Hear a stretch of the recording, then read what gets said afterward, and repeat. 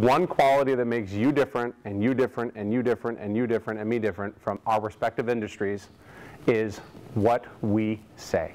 How we articulate what we believe is what makes us different against all of our competition. Now, I can back that up with proof.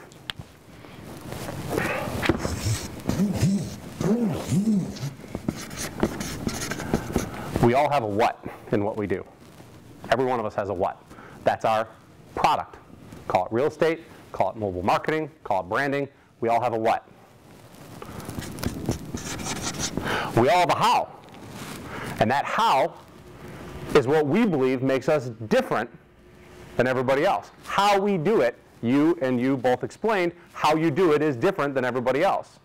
But to articulate that without the target makes it very, very ineffective. The why. And this is the cool piece. The why is your motivation.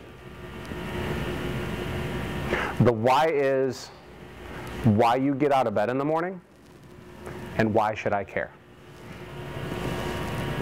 Take that to heart. Think about that for a minute. Your clients are looking at you every time you're in front of them and deciding whether or not they want to use you. If you're not answering that question for them, they can't answer it for themselves. If you don't know who you are to your clients, how are your clients supposed to know who you are? Let's use a couple different examples, okay? I like using Apple because everybody can relate. How does Apple differ from Dell and HP in relationship to access to the brains, the funding, the knowledge, the technology? How are they different? Why is Apple so well respected and used by everybody and Dell and HP lag significantly behind in comparison? Apple doesn't sell the what. Apple doesn't even sell the how. They sell the why.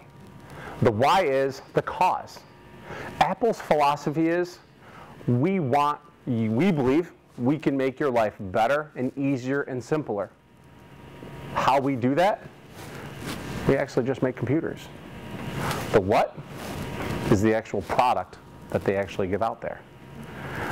The success of corporations that start with the why and go out allow you to believe in what they're selling, not what they're selling. And I'm going to give you guys about four or five examples that are going to knock your socks off.